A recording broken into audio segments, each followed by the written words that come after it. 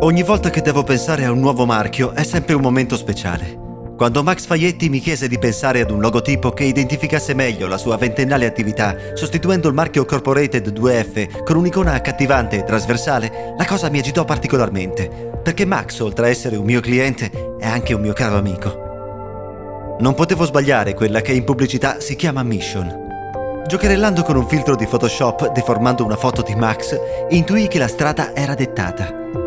Lui era diventato un elfo con le orecchie appuntite, gli occhi accigliati il corpo con l'effetto lente aveva una fisionomica innaturale ed i piedi erano sproporzionati.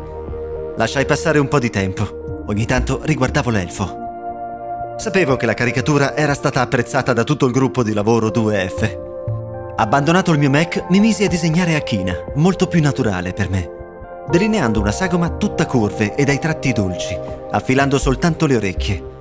Le allungai così tanto che diventarono corna dalle corna cominciò a prendere forma un diavoletto. E in effetti pensai, Max è un diavoletto, sempre in movimento, in giro per il mondo con attività sempre nuove all'avanguardia, mettendo sempre tanto entusiasmo in tutto quello che realizza. Mancava però qualcosa alla figura, un forcone, per essere certi che il colpo fosse assicurato, magari impugnato con la mano destra e la sinistra appoggiata a un fianco. In attesa del tocco decisivo, mandai a Max il primo bozzetto con una nota. Manca qualcosa. Manca la coda, disse lui. Disegnai subito una bella coda affilata che spuntava da dietro. C'ero quasi. I marchi vanno lasciati riposare per un po' di tempo, guardandoli ogni giorno, aspettando che ti comunichino qualcosa. Il tratto era deciso, accigliato negli occhi, che da subito erano diventati aguzzi e penetranti. Era proprio simpatico, ma un po' troppo aggressivo. Scarpe grosse, cervello fino.